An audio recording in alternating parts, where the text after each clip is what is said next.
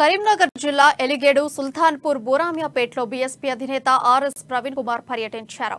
అకాల వర్షాల వల్ల పంటలు దెబ్బతిన్నాయని రైతులను ఆర్థికంగా ప్రభుత్వం ఆదుకోలేదని అన్నారు. తెలంగాణ ప్రభుత్వం తప్పు జీవోలను సృష్టించి ప్రజల నుండి గుంటకి లక్షా యాభై వేల నుండి రెండు లక్షల రూపాయల వరకు వసూలు చేస్తుందని మండిపడ్డారు. ఈ పారిశుద్ధ్య కార్మికుల సమస్యలు పరిష్కరించడం కోసం ముఖ్యమంత్రికి సమయం చెప్తలేదు.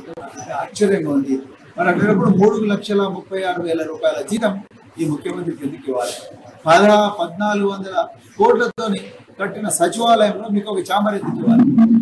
డెబ్బై తొమ్మిది కోట్ల మీ సెక్యూరిటీ కోసం ఎందుకు ఖర్చు పెట్టాలి ప్రజాధనానికి?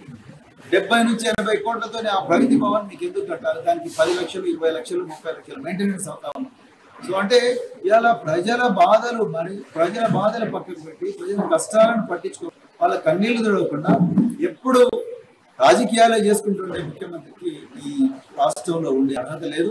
అర్జెంటుగా ఆయనను పెద్ద దించాల్సింది